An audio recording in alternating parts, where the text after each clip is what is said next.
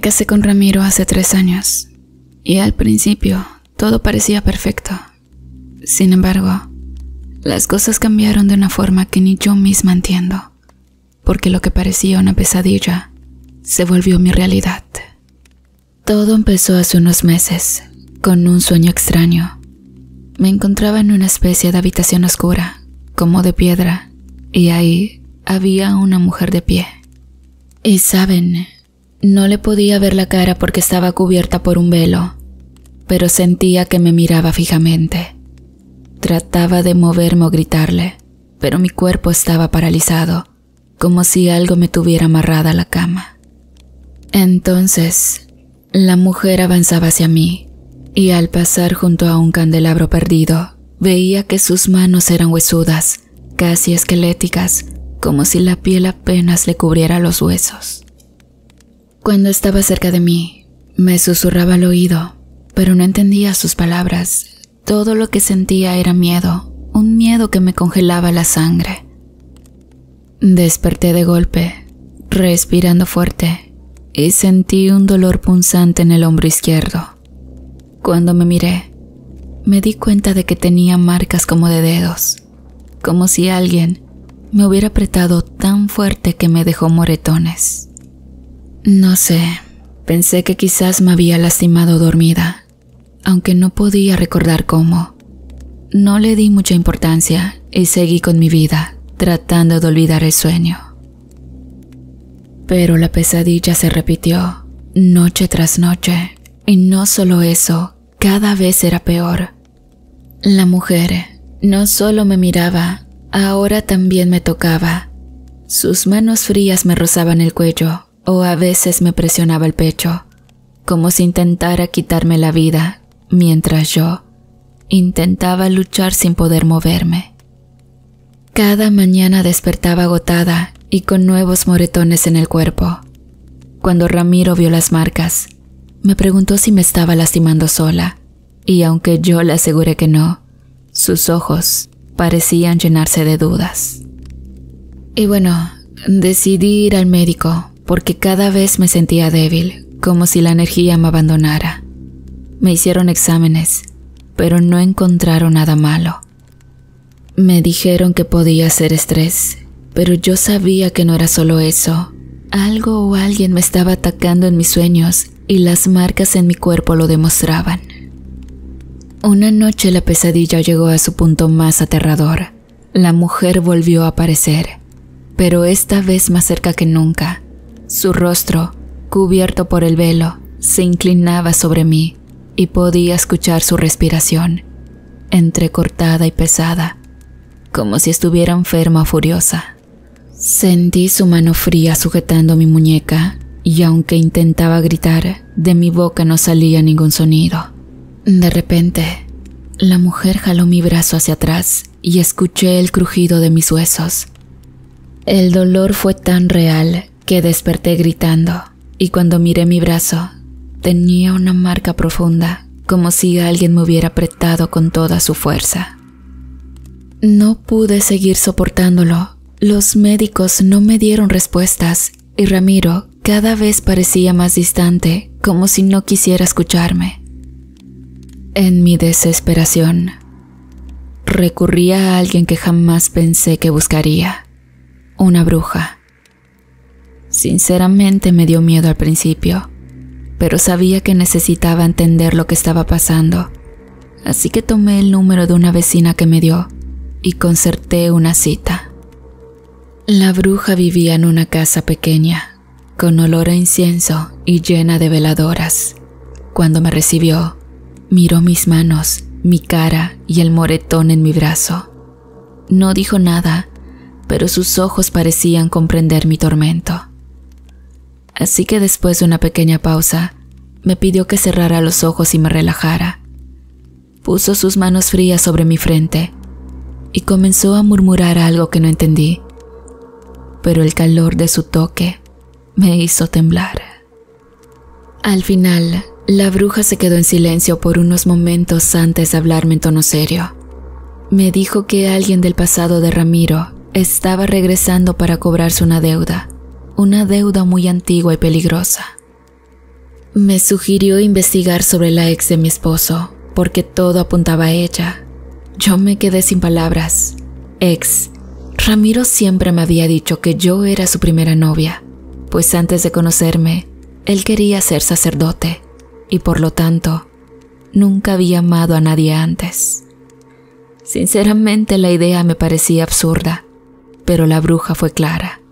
Me advirtió que ese espíritu seguiría atormentándome hasta que descubriera lo que Ramiro había dejado pendiente. Esa noche me quedé en silencio, analizando cada palabra que la bruja había dicho. ¿Cómo podía ser posible que Ramiro tuviera una ex y nunca me hubiera dicho nada? ¿Qué más estaba ocultándome? Cada pensamiento que cruzaba mi mente me llenaba de una mezcla de rabia y miedo. No sabía qué hacer ni a quién recurrir. Me quedé mirando a Ramiro esa noche mientras él dormía, preguntándome qué clase de secretos escondía mi esposo. Y mientras él dormía tranquilo, yo sentía algo frío rozándome la piel, como si una presencia estuviera ahí, invisible, acechando en la penumbra y esperando a que mis ojos se cerraran para atacar. A la mañana siguiente, decidí que era momento de enfrentarme a la verdad, aunque no sabía qué tanto dolor me traería. No podía sacarme de la cabeza lo que me había dicho la bruja, investigar en el pasado de Ramiro. Sin embargo, la realidad era que mi esposo nunca había querido hablar de su adolescencia ni de su vida antes de conocerme. Me decía que su pasado no importaba, que lo único importante era lo que teníamos nosotros. Pero ahora, esa duda me quemaba y necesitaba respuestas. Y no sé, pensé que quizás su mamá podría ayudarme. Ramiro y yo solíamos visitar a su familia de vez en cuando, y su mamá siempre me trataba bien, como si fuera su propia hija. Así que Aprovechando que Ramiro llegaría tarde del trabajo, decidí ir a su casa. Sentía que algo en mi interior me impulsaba, una necesidad de entender la verdad, porque cada noche que pasaba, los sueños se volvían más intensos, más reales, y mi cuerpo no soportaría. Y bien, llegué a la casa de mi suegra, y ella me recibió con una sonrisa, aunque noté que sus ojos me miraban con cierta preocupación. Al entrar, me ofreció café y en cuanto me senté, sentí la seguridad de que estaba en el lugar correcto para obtener respuestas. Empecé a hablarle con calma y sin darle muchos detalles, le conté que estaba teniendo sueños extraños, pesadillas que me dejaban marcas en el cuerpo, y que aunque suene raro, la bruja me había dicho que había algo en el pasado de Ramiro. Mi suegra se quedó en silencio unos segundos. Su mirada pasó de curiosa a nerviosa y en cuanto mencioné la palabra bruja, apretó la taza de café con fuerza. ¿Por qué te metiste en esas cosas, hija? me dijo, casi en un susurro. No tienes idea de lo que estás destapando. Esa respuesta solo alimentó mi desesperación. Le rogué que me explicara que me ayudara a entender por qué estaba pasando esto, qué tenía que ver con Ramiro. Entonces, después de un largo suspiro, su madre empezó a contarme una historia que me dejó helada. Me dijo que, cuando Ramiro era adolescente, conoció a una mujer en el pueblo. Nunca había visto a su hijo tan feliz, tan embelesado con alguien. Él hablaba de ella como si se tratara de una chica de su edad, razón por la que pensó que solo era un romance de juventud, pero pronto se dio cuenta de que esa muchacha no era lo que parecía. No era una joven como él creía, sino una mujer mayor, mucho mayor, y se dice que practicaba cosas oscuras, cosas que nadie en el pueblo quería mencionar. Decían que había embrujado a Ramiro para que la viera como si fuera de su misma edad y que él estaba tan hechizado que no escuchaba razones.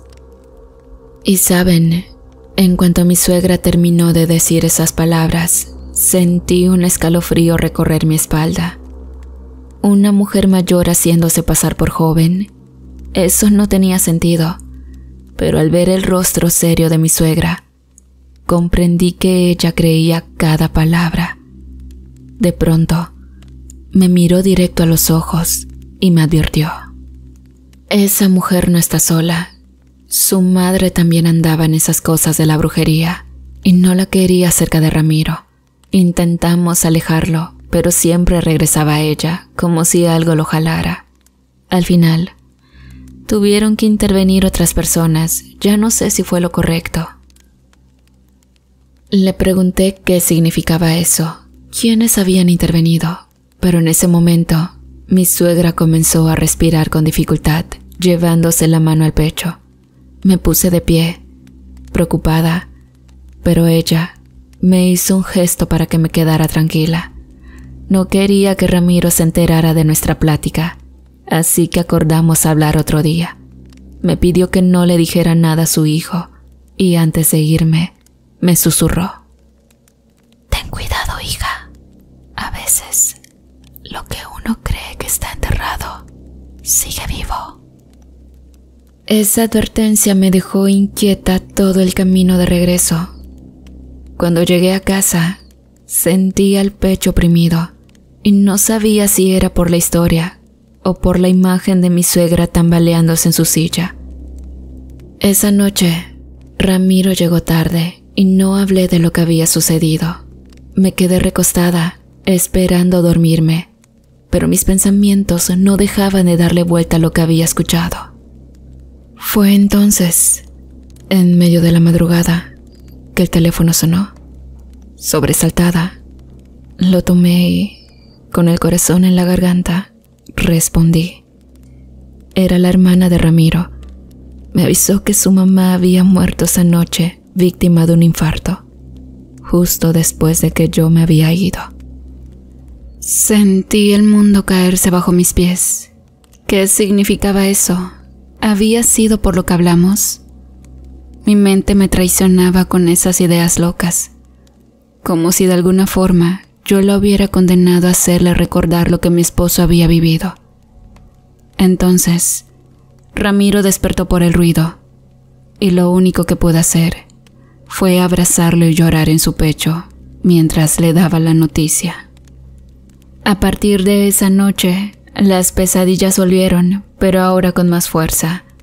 La mujer en el sueño ya no solo me miraba, sino que me tocaba Presionaba mi pecho hasta que sentía que me faltaba el aire. Y esa vez, no solo desperté con moretones, mis uñas estaban rotas, como si hubiera intentado pelear con alguien mientras dormía. Miré a mi alrededor y me di cuenta de que, sobre mi buró, había un mechón de cabello oscuro, largo, que no era mío. La muerte de mi suegra me dejó en un estado de angustia que no podía sacudirme las cosas que me había contado, sus advertencias y esa despedida en que parecía saber que algo malo venía.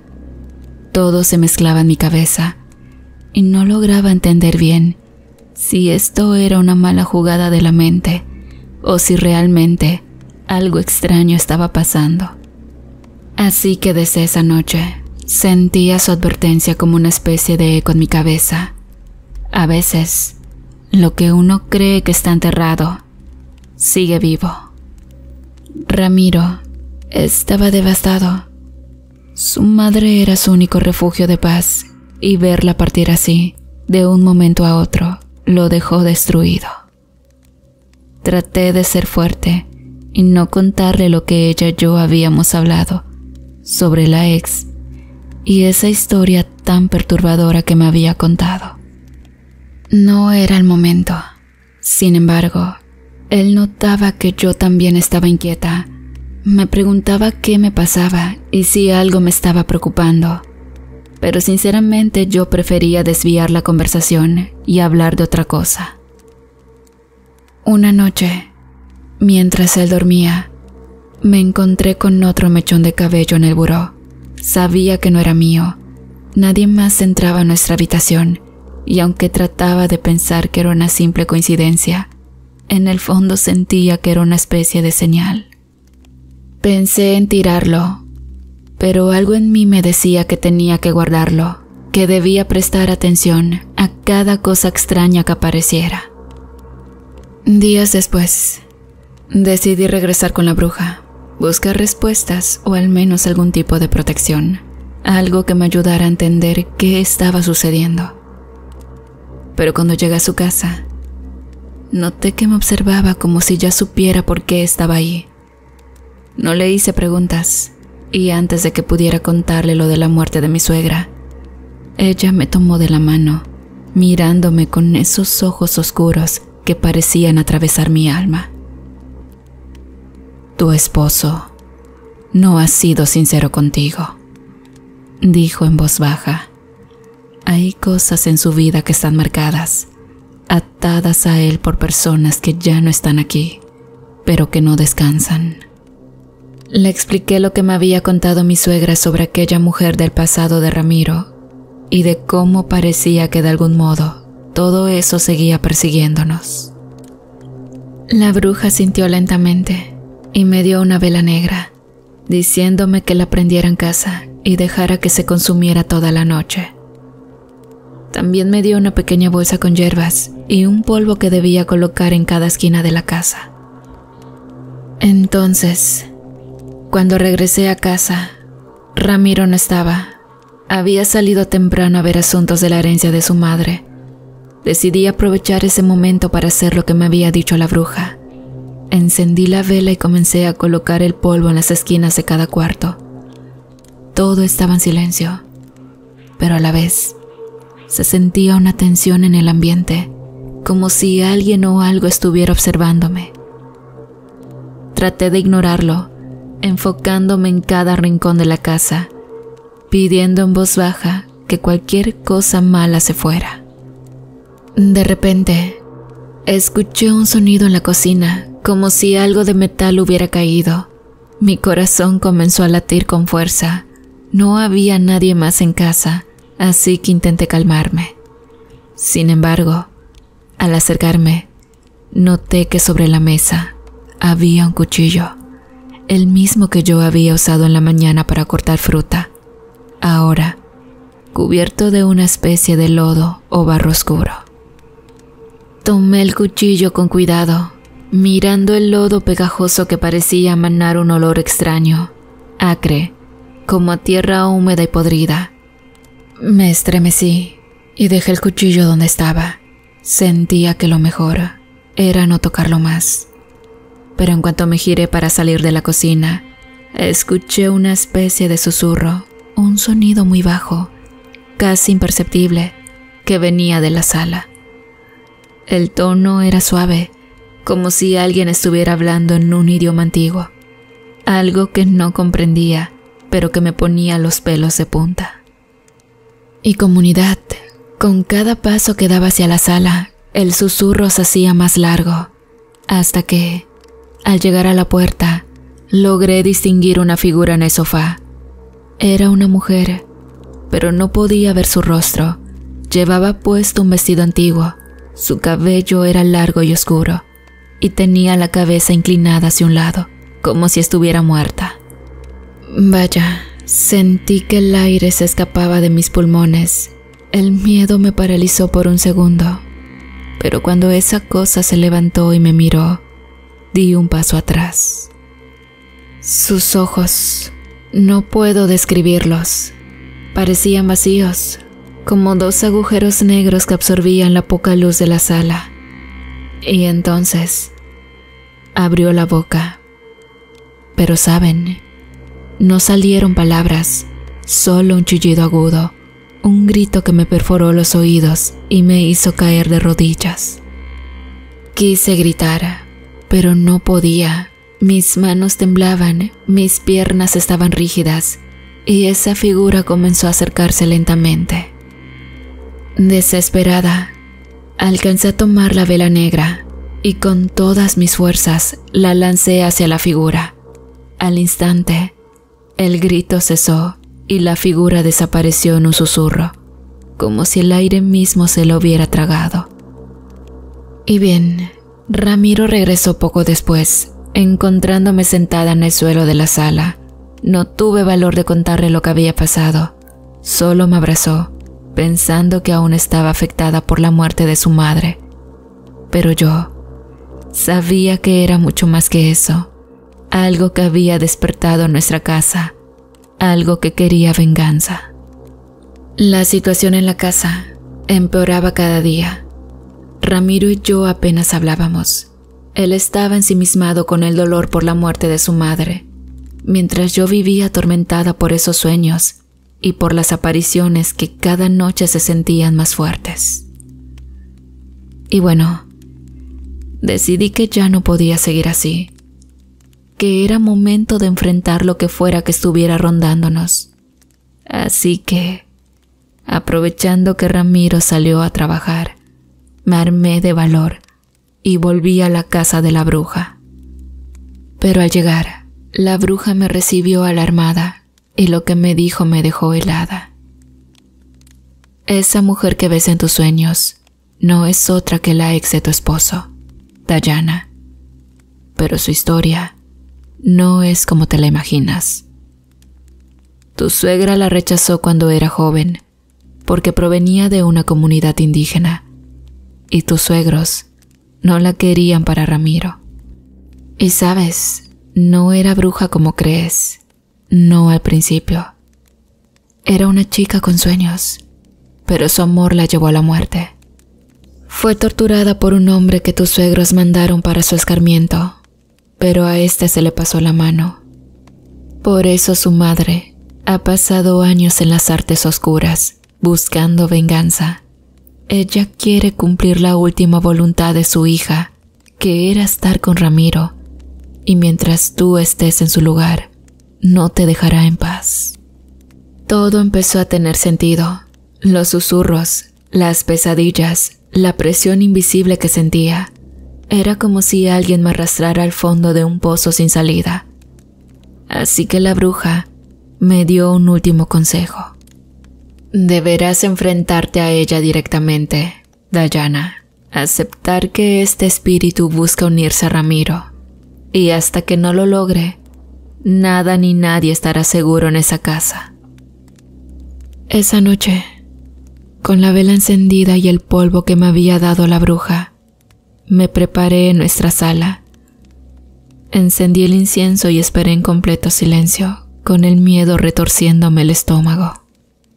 El reloj daba las doce cuando sentí un aire que se remolinaba y que una presencia helada se deslizaba alrededor de mí. Cerré los ojos por un segundo, respiré profundo y me repetí que debía resistir. Pero de repente el ambiente se volvió irrespirable. Escuché una risa baja y aguda, burlona, que parecía provenir de todos lados. Mis manos empezaron a temblar, pero me obligué a levantar la vista. Ahí estaba ella, una figura que apenas distinguía, pero que se sentía tan real, con un rostro desfigurado por el sufrimiento y unos ojos negros que transmitían puro odio. Se movía lentamente hacia mí, sus manos estiradas como si quisiera alcanzarme. Dime, ¿qué quieres de mí? Pregunté, con la voz rota. La figura me observó y en un tono bajo y gélido respondió. Yo solo quiero lo que me pertenece. Ramiro es mío. Yo estuve aquí primero. Yo soy su amor eterno. No les voy a mentir. El miedo se me convirtió en rabia. ¿Cómo alguien podía seguir aferrado al pasado, incluso después de la muerte? Me obligué a mirarla directamente y le grité. Ramiro nunca fue tuyo. Tú estás muerta. Él no te pertenece. Déjanos en paz. Pero mis palabras solo parecieron enfurecerla más. La figura avanzó hacia mí con una velocidad imposible, y en un segundo sentí sus manos heladas en mi cuello, apretando con fuerza. Grité, tratando de soltarme, pero era como si el peso de una montaña cayera sobre mí y mis fuerzas se iban apagando. Con mis últimos intentos de resistir, recordé el polvo de la bruja que había puesto en las esquinas. Me estiré hacia la mesa donde quedaba un poco y lo arrojé sobre la figura que intentaba ahorcarme. Al tocar, el polvo pareció quemarla y escuché un grito desgarrador que me perforó los oídos. La figura se retorció, soltándome por fin, y comenzó a desvanecerse. No cantes victoria. No he terminado contigo, ni con él. Cuando Ramiro regresó, me encontró aún en el suelo, con marcas rojas en el cuello. Traté de explicarle lo que había pasado, pero no me creyó del todo. Yo sabía que esto no iba a terminar tan fácil. Ramiro intentó sacarme de esa casa después de ese día y me llevó a su pueblo para intentar despejarnos. Y bueno, fue ahí donde conocí la historia completa, a través de rumores de las personas mayores. Su amor prohibido con una chica indígena, rechazada por sus padres, quienes pagaron a un hombre para que le enseñara su lugar. Pero ese hombre abusó de ella, y el dolor y la rabia la condenaron para siempre. Sin embargo, la madre de esa chica, consumida por la pena, entregó su vida a la magia oscura, atando su propia alma a la de su hija para cumplir la venganza que sentía tan justa, destruir a Ramiro y a cualquiera que intentara ser feliz con él. Esa noche, Ramiro se había quedado en la sala bebiendo y yo me fui a dormir. Pero a la medianoche, esa figura siniestra hizo acto de presencia. Al sentir su hedor me levanté y vi los crucifijos de mi habitación de cabeza. Me levanté a toda velocidad para ir por los polvos que me había dado la bruja. Pero una ráfaga de viento inexplicable me tomó la delantera e hizo volar los polvos, quedando regados e inservibles. En esta ocasión no pude evitar que el espectro se me acercara y me tomara fuertemente del pie, para luego arrastrarme por la casa hasta llevarme al patio. Yo gritaba, presa del horror y de dolor, pero sentía como si una brasa infernal me quemara por donde la mujer me había tomado. En eso, Ramiro hizo acto de presencia y le ordenó al espectro que me soltara. La mujer infernal lo miró con ilusión y susurró con una voz gutural. Amor mío, aquí estás. Te he esperado por tanto tiempo. Y luego me soltó, abriendo las manos para que Ramiro corriera hacia sus brazos. Ramiro fue hacia ella sin dudarlo, pero antes se detuvo frente a mí y me dijo, Lo siento, Intenté cubrir su amor contigo, pero no pude. Fuiste una buena mujer, pero ella es el amor de mi vida. Acto seguido, tomó al espectro de la mano y juntos caminaron hacia el inmenso y oscuro patio hasta perderse entre la maleza. Al día siguiente, el pueblo despertó en medio de una trágica noticia. Ramiro, aquel hombre bueno y que todos conocían desde pequeño, había sido encontrado en un árbol. Había decidido partir a otra vida por voluntad propia. Sinceramente sufrí como nunca la pérdida. Pero saben, hoy en día, con la cabeza más fría, pienso que Ramiro se sacrificó por mí, pues estoy segura que si él no aceptaba morir, esa cosa iba a llevarnos a los dos.